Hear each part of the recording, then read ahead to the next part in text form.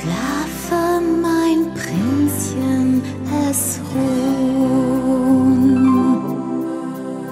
Schäfchen und Vögelchen nun.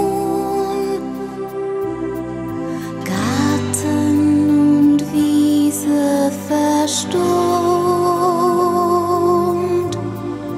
Auch nicht ein Bienchen mehr so.